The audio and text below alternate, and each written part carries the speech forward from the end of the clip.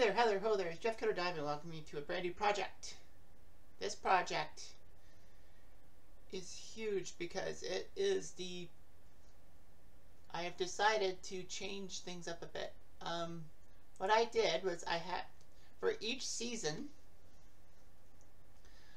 I've decided to do a tournament based on things. Seeding doesn't matter. It's like unseeded. So as you see, the Rangers, Boston, Chicago, Montreal are here. This is a 64-65 season. And as you can look, Detroit and Toronto are not here. Well, Detroit and Toronto are in the semifinals. Look at the bracket. Oh, well, they won't say anything about bracket. Semis and final. Teams. Like, all six teams and their stuff. Highlights. Anyway. So this is a 64-65 season. So everything is best of seven. And the top three teams from each of the years will move on, will move on to, well, another 32 team tournament with my 11 seasons of Stone Cold Hockey. But this time, it will be, it will be a different one. Like we could see some upsets, we could see some feel, well, we'll see some feel good stories. So anyway,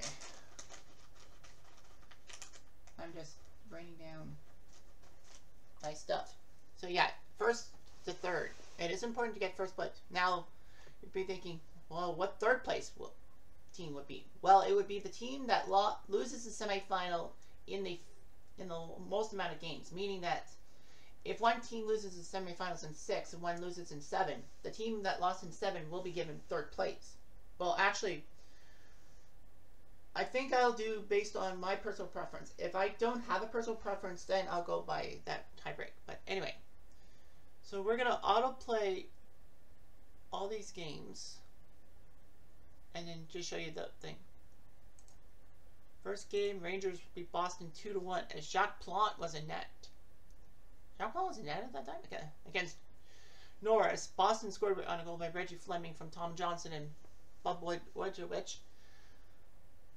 Rangers scored Phil Goyette from Harry Howland, Dean Richardson, and then Earl Ingarfield from Ron Gilbert and Jim Neilson. So Rangers went 2 to 1. Montreal went into Chicago and went 4 to 1. Remember, it's all random. Gump Worsley beat Glenn Hall. Montreal goes by Jean Beliveau, Pocket Richard, Pocket Richard again, and then Dave Balon. Chicago's goal was by Kenny Wharram. It's weird. CBH, it should be CHI for Chicago. Be a lot better. Because I'm thinking Columbus Blue Jackets. So game two saw Chicago win in overtime. Stan Mikita scored the first goal from, well, Hodge lost to Hall. Mikita from Morum and McNeil. Shows Tremblay scored from Provost and Backstrom to tie it. And then in overtime, Bobby Hull on the power play with Jean-Guy Talbot in the box for tripping. Scored from Mikita, so that ties the series. Rangers beat Boston 6 to 2. Marcel Paille beat Norris 6 to 2. Boston goals were scored by Knibbs, his both goals by Knibbs. Rangers goals Bill Hicke, Jean Ratelle, Vic Hadfield, I would say Andy Brown, Vic Hadfield again, and Rod Gilbert. So yeah, Hadfield and Gilbert were around at that time. So the Rangers up to nothing. Game three sees the Rangers win 3-2 over Boston. Paille beats Eddie Johnston, so Boston decides to use Johnston. Boston was up 2 nothing. Ted Green and Dean Prentice scored. Phil Goyette, Jean Ratelle, and Robinson. I don't know what his real name is. Dave Robinson? But he scored from Wally Hillman. And the Rangers win 3 2, so they're up 3 nothing. Montreal beat Chicago 3-2 at home. Hodge beat Denny DeJordy. Chicago goals by Bobby Hull and Phil Esposito. Yeah, remember, he was a Chicago Blackhawk one time.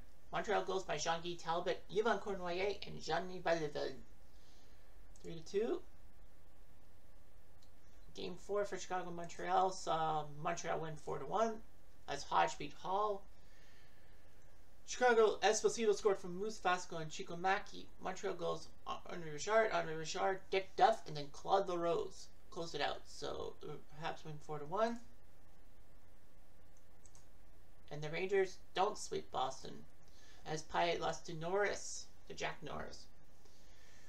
Ranger goals by Bob Nevin, Donnie Marshall, Bob Nevin, and Vic Hadfield.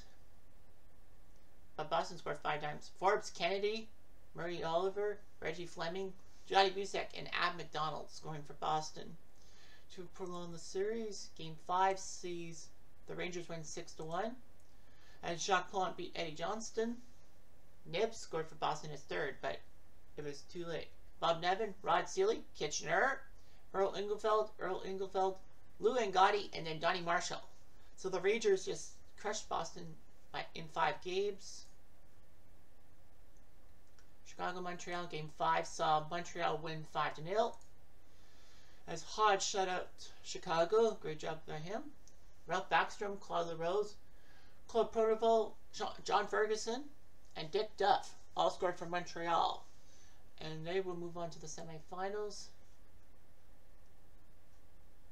So it'll be Rangers, Montreal, and Detroit, Toronto. So they decided to put Detroit, Toronto to face each other. The two teams that were went for buys, got buys, will face each other.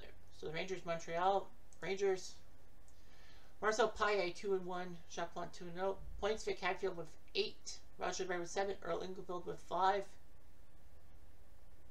Yeah, it was Doug Robinson and Dave Richardson. Okay. Elsewhere, Montreal making it through. Hodge 3 and 1, Worsley 1 and 0. Claude Provost 6 points, Ralph Backstrom 5, Andre Richard 5. Yeah, Jimmy Roberts, Ted Harris. So let's go to the semifinals. Rangers Montreal, first game, sees Montreal win 4 to 1 as Worsley took down Jacques Plante from uh, Habitant. Rangers goal by Luca Angotti from Hadfield and Chabert. Montreal four goals. Jean Beliveau, Andre Richard, Andre Richard, and Dick Duff putting the into the net. The net. Detroit Toronto game one. Saw the Red Wings win three to one. Crozier beats Johnny Bower. As Ted Lindsay from Al Langlois and Paul Henderson. Alex Delvecchio from Gordie Howe and Norm Ullman. And Eddie Joyal from Norm Ullman and Al Langlois. Scored Leafs goal George Armstrong from Frank Mahovlich and David Keon. Game two sees the Red Wings win 5 to 3 as Crozier beats Zajac. And that Toronto goals by Frank Mahovlich, Ron Stewart, and Ron Ellis. Detroit goals by Gordie Howe, Ed Joyal, Gary Bergman, Ed Joyal, and then Floyd Smith with the empty netter. Game 2 of Rangers Montreal sees Montreal Gagne 4 1. Worsley beat Plante. Rangers goal by Roger Bear from Vic Hadfield. For Montreal goals, Jean Beliveau, Yvan Cournoyer, Jean-Guy Talbot, and Davy Balon. Game 3 sees Montreal win on home turf 3 to 2 as Plante goes in hostile territory Montreal. Hodge the win. Ranger goals by Vic Hadfield, his fourth. Bill Hicke, his second. Montreal goals by Dave Balon, Jean-Guy Talbot and Jean Beliveau being the winning goal. Detroit Toronto game three sees the Red Wings win four to one as Zajac lost to Roger Crozier. Toronto goal Bathgate from Bob Pulford. Yeah, Bathgate was a Leaf at that time. Detroit goes by Ted Lindsay, Bruce McGregor, Gordie Howe, the legend that is Gordie Howe, and Norm Ullman. Game four saw Detroit sweep Toronto five to three as Crozier sent Zajac flying. Leafs did score. We'll give up four goals. Ron Murphy, I think that's his name. Bruce McGregor, Norm Ullman, and then McGregor again. Toronto did score two goals. Keon and Andy Bathgate, but Detroit made it 5-2. Paul Henderson, future Leaf, scoring, and Andy Bathgate does get his third for the Leafs, but they get swept. And let's see. Do we have a sweep? Yes, we do. Habs sweep the Rangers 5 to 0 as Hodge beats Marcel Paille, so the Rangers decide to go with a new goalie. Hodge doing his job, Dick Duff from Beliveau, Bobby Rousseau from Claude Provost and JC Tremblay, John Ferguson from Bobby Rousseau, Claude Provost from Henri Richard, and Dick Duff from La Rose. So great job by the Habs, five to nothing. So we have a pair of sweeps. Goal scoring, Henri Richard with six goals. Bill Knibbs so anyway, yeah. So Hodge and Plante, well, because the Red Wings have only played four games. Well, Montreal had to qualify and all that. So Henri Richard with six goals in the thing. Assists. Provost, Roger Bear, and Vic Hadfield with seven assists. Of course, as I said, it's a little biased because of the playoff series. Points wise, Hadfield with 11, Henri Richard with 10. All that. Charlie Hodge, 5 and 1 in net. His goals against, decimal 9-7. Wow. See the bracket and all that.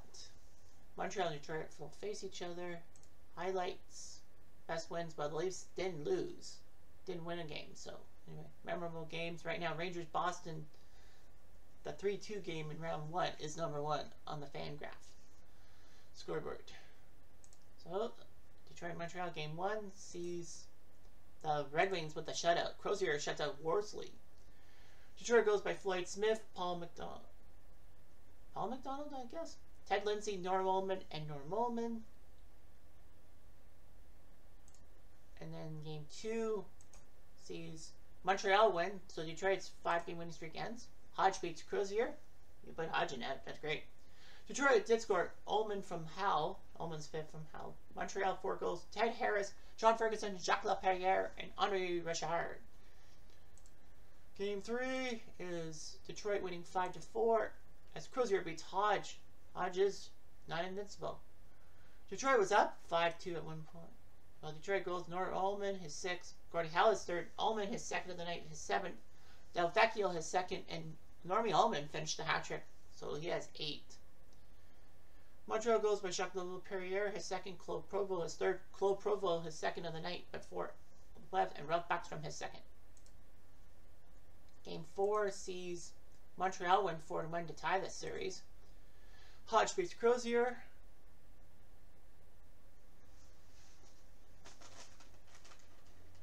So, yeah, so Hodge beats Crozier.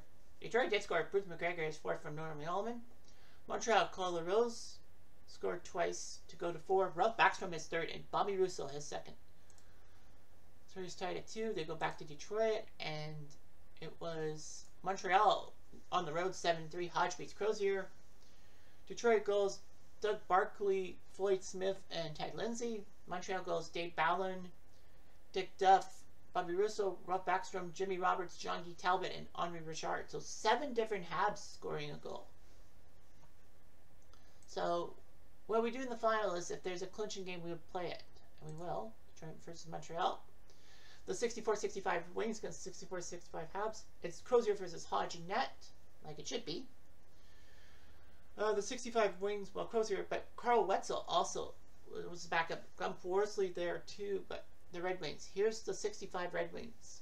Norm Ullman, Gordie Howe, Alex Delvecchio, Bruce McGregor, Ron Murphy, Floyd Smith, Ted Lindsay, Parker McDonald, Eddie Joyal, Paul Henderson, Pitt Martin, Doug Barkley, Gary Bergman, Larry Jeffrey, Val Fonteyne, Lowell McDonald, Marcel Provo, Al Langlois, Pete Goegan, Bill Gadsby is on the team well, John McMillan, Andre Provost, Bob Dillabough, and Morton Godfrey. The Habs have Claude Provost, Ralph Backstrom, Henri Richard, Claude LaRose, Jean Beliveau, Dave Balon, John Ferguson, Bobby Rousseau, Dickie Duff, Gilles Tremblay, Jean-Guy Talbot, Yvan Cournoyer, Jacques Laperriere, J.C. Tremblay, Jimmy Roberts, Leon Rochefort, Ted Harris, Red Berenson, Terry Harper, Noel Picard, Keith McCreary, Gary Peters, Byron Ronson, and Andre Boudrias. Red Berenson played for the Habs in 65. Mm. Alright, so let's start. Four minutes into the game. Action by Backstrom. Oh, Backstrom saved me. So Backstrom tried his best to score the first goal. Five minutes later, Red Wings action. Joyal? No, they stopped him. Three minutes later. After another Red Wings. Score! Normie Ullman, his ninth of the playoffs. From Floyd Smith and Pitt Martin. Pitt Martin? I don't think I said Pitt Martin, did I? When I was talking about these guys? I guess I did. Anyway, two minutes later. Red Wings again. They score again. Bruce McGregor. McGregor's garden, his fifth of the year. From Alex Delvecchio and Bill Gadsby. So it's 2 nothing Red Wings. And then five minutes later, Red Wings another chance. Pit Martin? Ah, no. Of course, Pit Martin is best remembered for being part of that trade for the Blackhawks and Bruins. Like, the Blackhawks mortgaged things to get Pit Martin from the Bruins, and that was the Phil Esposito trade. So the Red Wings are up to nothing, trying to force Game 7 back at the Olympia. And attack. There's an attack, and Provost tried.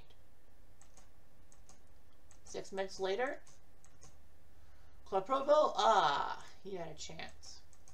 Five minutes later, Red Wings, Ted Lindsay, no. They're good with taking the Wait, have no, Bobby Rousseau gets stopped. And it looks bad for the Habs. Looks like the Red Wings could win this game in seven. This series in seven. Well, of course, they have to go against seven out of the Olympia, but you never know. For the Red Wings. Skewer! Terrible Ted Lindsay puts it in the net. 3 to 0. From Parker McDonald. 3 0 Red Wings. Three minutes later. Skewer! Ralph Backstrom makes it 3 to 1 from Tremblay and Beliveau. So, Ralph Backstrom big news about Ralph Backstrom is that he was traded from Montreal to Los Angeles in the 70-71 season in a move that actually helped LA beat Oakland in the standings and give Montreal the number one draft pick to get Guy Lafleur. Although a lot of people said that Sam Pollock did that on purpose, Backstrom won it out. So you might as well find anyone to go to the West Coast. Agitator? Chance for Jean Beliveau to score? No. Three minutes later. Habs a chance. Backstrom? No. Three minutes later. Contreskior is thinking like a LaRose. Claude LaRose, his fifth from Rousseau and Noel Picard. Noel Picard played for the Habs that time. He's remembered for the defenseman who tripped up Bobby Orr when Orr scored his overtime goal in 1970.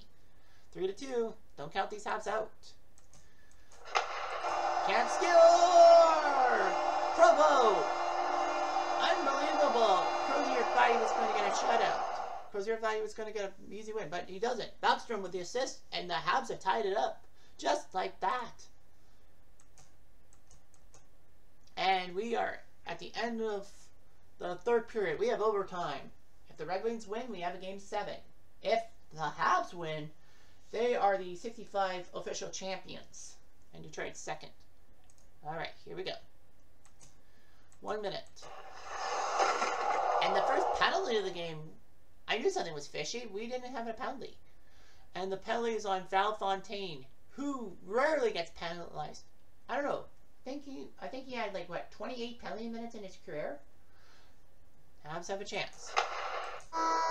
Shot shorthanded goal. Ullman, unbelievable. Ullman from Floyd Smith, and the Red Wings win in overtime at 138. The Habs can't believe it. They were down 3 nothing through 42 minutes of play, and it looked like Detroit was going to force Game 7. But Montreal struck back. So Ullman with two goals, McGregor and Lindsay. Montreal goals by Backstrom, LaRose, and Provost.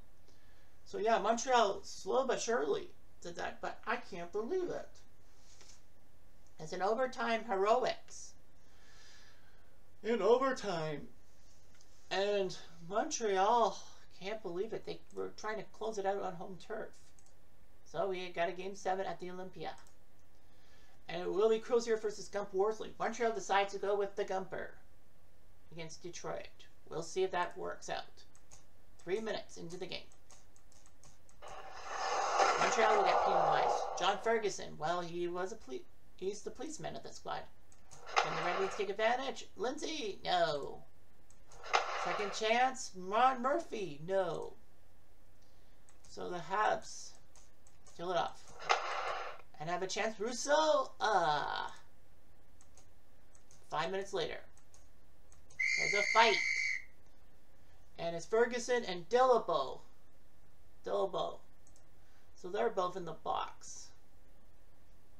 It hurts Montreal a little bit because Ferguson can't please his players. Final moments of the first period. Montreal score with four seconds left. Sean Guy Talbot. His fifth of the playoffs from Balon and Backstrom. So the Habs have a 1-0 lead headed into the second period. Sure. Both players will be out of the box now. Eddie Joyal? No. He tried to score. Five minutes later. Alex Delvecchio? Uh. Then six minutes later. Chance for Gordie Howe? He couldn't get one past Worsley. Three minutes left. And the Habs will take a penalty. It will be Jacques Laperriere for deux minutes. So the Perrier's in trouble. Power play chance for the Red Wings. They get it! Pop, pop, power play goal. Gordie Howe. Get your skates on, Gordie. You're going of the year from Parker McDonald and Norm Ullman. We're tied at one. And then Reddy's trying to get their second goal. Delvecchio. No. Last moments of the second period. Dave Balon trying to score for Montreal, but can't. So 1-1 through 40. On to game three. I mean, period three. What am I thinking? Five minutes into the period. Montreal delivers a hit. Another five. Red Wings, Normie Ullman. Ah, the hero of game six. Another five minutes have passed. And Montreal will go to the box. Ferguson for two minutes. Hopefully that penalty doesn't cost them. It might. And it does. I was right. Ron Murphy, his second from Gadsby and Howe. And the Red Wings have a 2-1 lead. Seeding, well, seeding is important because you go into the randomizer. Now it's an Game, set, match. Delvecchio from Parker McDonald. And the Red Wings are going to win this tournament. A lot of people said, oh, well, they had to buy. They got it. But yeah, but Montreal took them to the limit. They could have fucked up.